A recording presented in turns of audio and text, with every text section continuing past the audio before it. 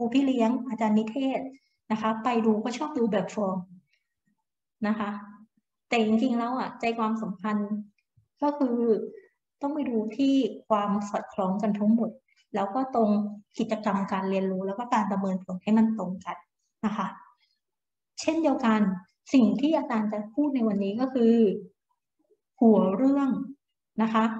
หนูเรียนมาสองปี แผนคุณแม่แผนคุณพ่อก็แบบเนี้ย พอหนูไปอยู่โรงเรียนเนี้ยเขาก็ว่าแผนหนูเสียใจมาก ว่าสมควรไปอยู่โรงเรียนเขาก็ต้องแผนโรงเรียนเขานะคะ เพื่อนครูเป็นเพื่อนครูนะเป็นไอเนี่ยค่ะ เป็นครูพี่เลี้ยงบอกว่าโรงเรียนชั้นน่ะพอออกกำหนดไปห้าอี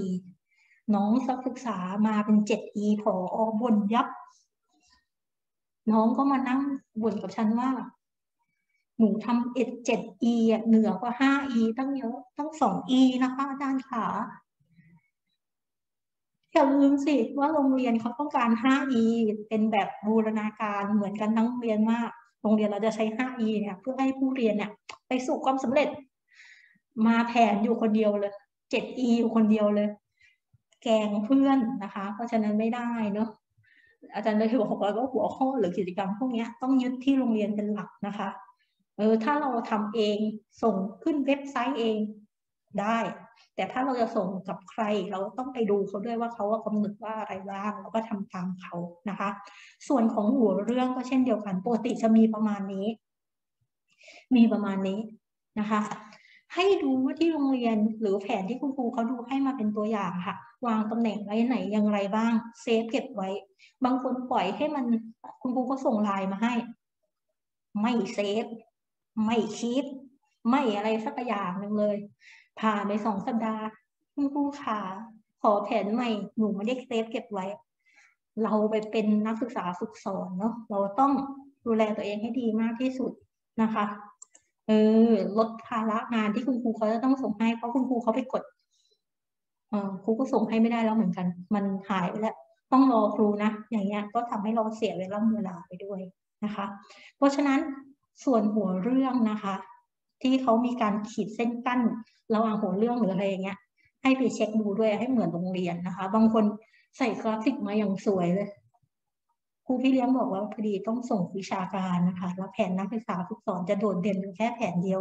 ไม่งั้นเดี๋ยวนักศึกษาฝึกสอนไปช่วยทำให้ทั้งโรงเรียนเหมือนกันใหม่นะคะ อันนี้เซลโอ้ไม่มีใครพูดถึงขนาดนั้นหรอกนะคะเอออันนี้ให้ทำตามเขาก่อนเนาะต่อมาสาระสำคัญนะคะคำว่าสำคัญมันต้องยาวไหมนักศึกษาอาจารย์เคยเจอสาระสำคัญศาสตร์หน้า อาจารย์นี่อยากจะควันออกหูควันออกจมูกอะไรใช่นะคะ ก็คือให้มันเป็นแก่นจริงๆนะคะนักศึกษาค่ะสรุปเนื้อหามาว่า สาระของเรื่องเรื่องนี้ตามเนื้อหาความรู้ทักษะเจตคติ ในเรื่องนี้มันมีสาระสำคัญอะไรบ้างนะคะ เป็นความเรียงส่วนใหญ่จะเป็นความเรียงแต่เขียนเป็นข้อก็ไม่ผิดนะคะ แต่อาจารย์ชอบตาม ความนิยมเขานิยมอะไรมาอาจารย์ก็จะไปกับเขาด้วยนะคะอาจารย์รู้สึกว่ารอดแน่รอดแน่ลองรอดแน่นะคะ ตัวเนี้ยสาระสำคัญนะคะ ก็จะเป็นคล้ายๆกับ ความคิดรูปยอด มโนทัศน์คือการมองไปข้างหน้าว่า ผู้เรียนเรียนของเราแล้วเนี่ยหัวเรื่องไหนที่เขาจำเป็นจะต้องได้ มันสำคัญยังไงอะคะอาจารย์บางครั้งอะอาจารย์ไม่ได้มีเวลามาอ่านทั้งหมด อาจารย์ก็จะมาดูตรงสาระสำคัญว่าแผนเนี้ยตรงกับที่เราจะสอนไหม เพราะฉะนั้นในสาระสำคัญนะต้องสื่อทั้งหมดว่าเนื้อหามีอะไรบ้างนะคะ เพื่อบอกให้กับผู้ที่มาอ่านรับทราบนะคะสำคัญขึ้นมาเลยค่ะอาจารย์คะเพราะฉะนั้นเนี่ยก็จะบอกรายละเอียดมานะคะ สาระสำคัญซ้ำกันหลายแผนได้ ถ้าเกิดหัวเรื่องเดียวกัน วัตถุประสงค์บ้าง หายใจลึกๆ เรื่องนี้สำคัญ นั่งตัวตรงขึ้นมาอีกหนึ่งครั้ง วัตถุประสงค์การเรียนรู้นะคะ คือข้อความที่ระบุลักษณะนะคะ ของผู้เรียนนะคะ ว่าเมื่อเรียนแล้วอะเขาได้อะไรบางครั้งอะเราตั้งวัตถุประสงค์ไว้ดีแล้วเลยแต่กิจกรรมเรามันไม่ไปถึงขั้นนั้นอะก็มีเหมือนกัน ดังนั้นมันจะเป็นจุดที่ทำให้นักศึกษาที่เป็นคนช่างสังเกตกลับมาทบทวนตัวเองว่า จุดประสงค์ที่ฉันตั้งไว้นะ ไปดูกับกิจกรรมการเรียนรู้ซิ มีเหมือนกันไหม ถ้ามีเหมือนกันเยี่ยมมาก แต่ถ้าใครไม่มีไปปรับซะว่ามันขาดหัวข้อไหนนะคะแล้วก็เพิ่มขึ้นไป ส่วนใหญ่จะเป็นเชิงพฤติกรรมเพราะมันมองเห็นได้ง่าย ในหน้าที่สี่เนาะ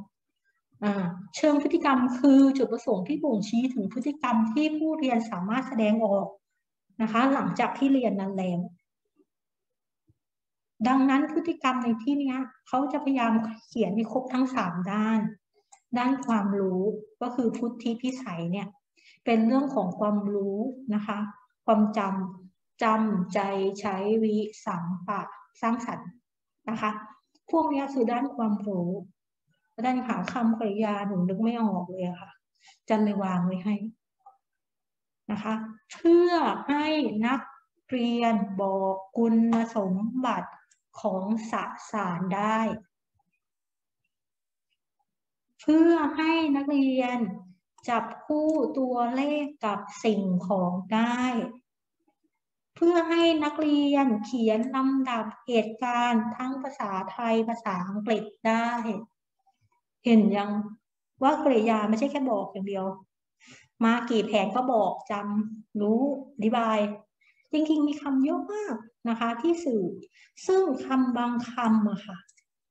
สามารถเป็นได้ทั้งความรู้ทักษะพิถัยแล้วก็เจตสติด้วยนะคะ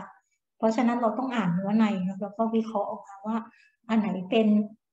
จุดประสงค์ทางด้านไหนนะคะ อันนี้ก็คือรายละเอียดระดับพฤติกรรมกับตัวอย่างคำกริยา เรียนมาโดยตลอดเลยว่า ต้องเน้นให้ผู้เรียนเขาทำสิ่งใหม่ ๆ สิ่งประดิษฐ์มาไหมเคยสอนให้เขามีจุดประสงค์เปรียบเทียบหรือเปล่า เอาแผนทั้งฉบับของดาวน์โหลดมาดูได้เลย ไปไม่ค่อยจะถึงนะคะ แต่ชอบวัดผลถึงนะคะ อย่างเงี้ยไม่ดีอย่างนี้อย่างนี้ไม่ดีนะคะ พยายามเขียนให้มันครอบคลุมนะคะวิเคราะห์ทีละหัวเรื่องลงมาอันนี้ไฟล์นี้อาจารย์ให้เราอาจารย์ก็เลยค่อนข้างไปไปเรื่อยๆนะคะแล้วเดี๋ยวจะได้มีตัวที่ให้เราสอบถามได้ คุณลักษณะอันพึงประสงค์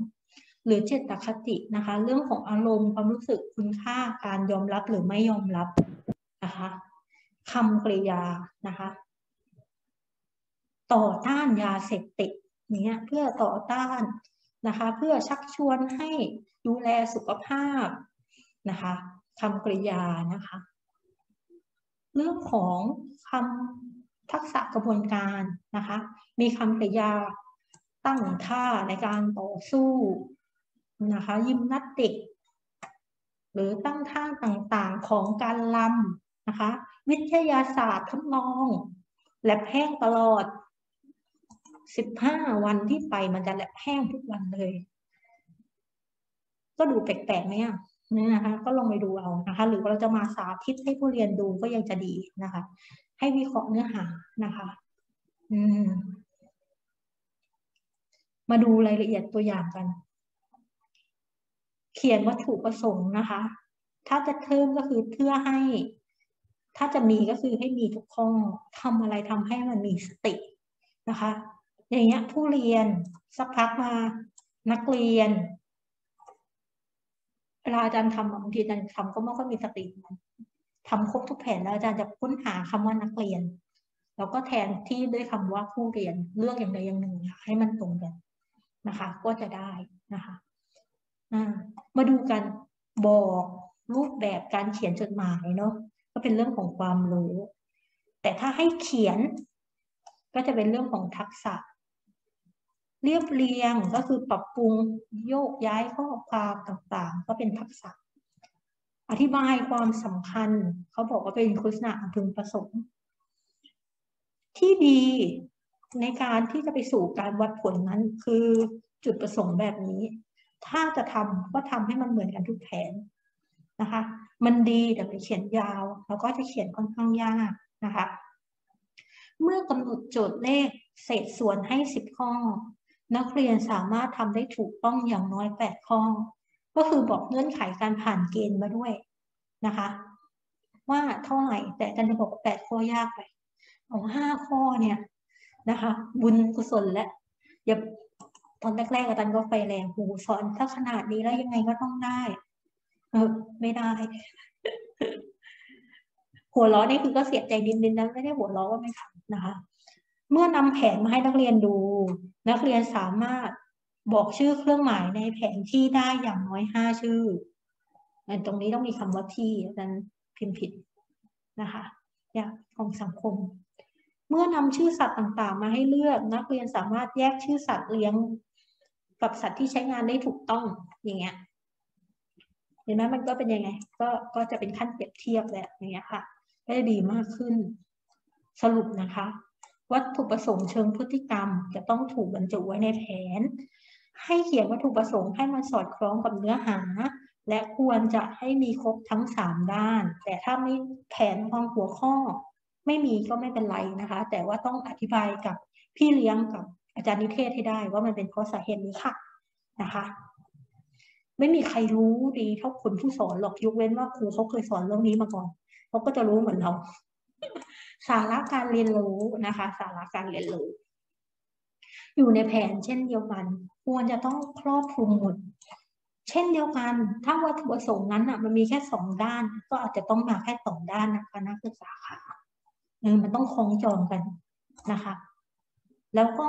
กำหนดเนื้อหาค่ะ ให้เหมาะสมด้วย อาจารย์จะเอาบีทาโกรัสไปสอนเด็กอนุบาลสาม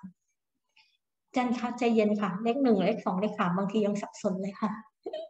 ถูกไหมอ่านะคะ เนื้อหานะคะ เรื่องของระยะเวลาอาจารย์ได้มาสองชั่วโมง อาจารย์จะให้นักศึกษาทุกคนเขียนแผนยี่สิบแผนให้ท่าน แค่คิดก็ท้อแท้ใจแล้วค่ะอาจารย์หนูอยากจะเดินไปล้างหน้านะคะ ความสามารถของผู้เรียน ถ้าไปสอนห้องที่เขาเตรียมตัวจะไปสอบโอลิมปิก วิชาการไม่ใช่โอลิมปิก กีฬาใจเย็นนะคะ ถ้าเด็กพละก็อาจจะได้ อันนั้นก็คืออาจจะให้ชุดร้อยครั้งลงร้อยครั้งเออนั้นได้